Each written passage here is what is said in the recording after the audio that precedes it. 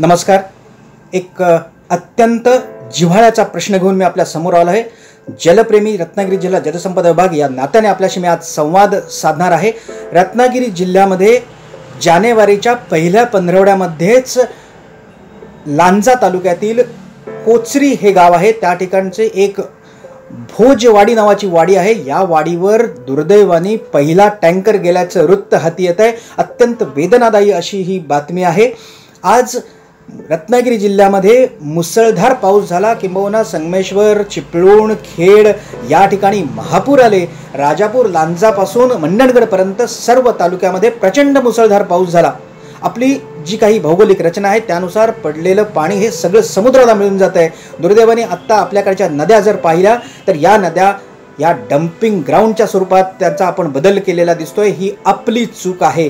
या नदीतलं पाणी कुठे गेलं? हा विचार प्रत्येकाने करावा. मी जास्त बोलणार नाही आहे पण लक्षात आपल्याला लक्ष देणं गरजेचं आहे की आज जानेवारीच्या पहिल्या पंधरवड्यामध्ये टँकर जातो ही अत्यंत मनाला वेदना देणारी बातमी आहे.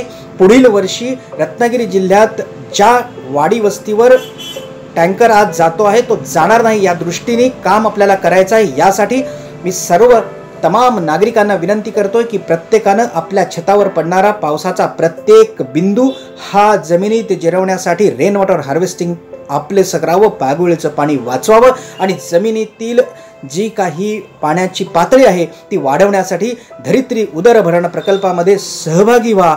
मला काय माझ्याकडे आत्ता पाणी आहे ना असा विचार करू नका बांधवानो. आपला दुसरा बांधव आज तहानलेला आहे.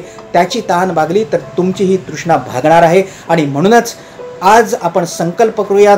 या आत्ताचा संक्रमण काळ सुरू आहे. नवं संक्रमण करूया. ज्या वाडी वस्तीवर पंधरा मे ते पंधरा जून दोन हजार एकवीस म्हणजेच गतवर्षी टंचाई भासली होती टँकर गेला होता त्याचा आढावा घेऊन पुढील वर्षी या वाडी वस्तीवर टँकर कसा जाणार नाही या दृष्टीतून विहीर पुनर्भरण बोरवेल पुनर्भरण अशा पद्धतीने आपण काम करूया. मार्च अखेरपर्यंत सर्व शासकीय इमारतीच्या थेंब इमारतीच्या छतावर पडणारा पाण्याचा थेंब वाचूया. पुढच्या पंधरवड्यामध्ये प्रत्येक बहुमजली इमारती सोसायट्यांवरच्या थेंबाचं आपण साठवणूक करण्याचा प्रकल्प हाती घेऊया आणि त्याच्यानंतर पंधरा एप्रिलपासून पंधरा मेपर्यंत प्रत्येक घरावरचा थेंब कसा वाचेल या दृष्टिकोनातून काम करूया. आणि थेंबा थेंबाचं महत्त्व सर्वांना पटवून सांगून पुढील वर्षी पाणी टंचाई मुक्त असा जलयुक्त रत्नागिरी जिल्हा आपण करण्यासाठी कटिबद्ध होऊया. यानंतर एक व्हिडिओ आपण पाहणार आहोत. विहीर पुनर्भरण कशी केली जाते याचा आपण सर्वांनी अंगीकार करावा आणि जमी विहिरीचा जो तळ वरती आला आहे पुढील वर्षी तो तळ कसा पाण्याने भरून जाईल याकडे लक्ष देऊया. यासाठी खूप शुभेच्छा. नमस्कार. मित्री उदरभरण प्रकल्प अर्थात विहिरीचं उदरभरण आपण इथे पाहतो आहोत. प्रसाद मोणकर जामखंडे तालुका देवगड जिल्हा सिंधुदुर्ग यांची ही यशोगाथा आहे.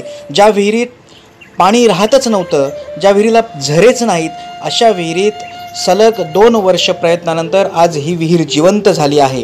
पावसाचं पडणारं वाहून जाणारं पाणी हे आपण अडवायचं आहे. चर खळून विहिरीपर्यंत पाणी आणायचं आहे आणि विहिरीच्या बाजूला एक खड्डा खणून त्या ठिकाणी फिल्ट्रेशन यंत्रणा ही बसवायची आहे किंवा तयार करायची आहे आणि त्यातून पाट खणून आपण पाट किंवा पाईप लावून आपण आपण पाहतो आहोत अशा पद्धतीने हे पाणी फिल्टर केलेलं पाणी विहिरीत आणायचं आहे. त्यामुळे विहिरीचं अर्थात धरित्रीचं उदरभरणं होणार आहे. सार्वजनिक विहीर किंवा घरापासून दूर असलेल्या विहिरीचं पुनर्भरण हे अशा पद्धतीने आपल्याला विना खर्चामध्ये करता येतं यासाठी कोणताही खर्च येत नाही.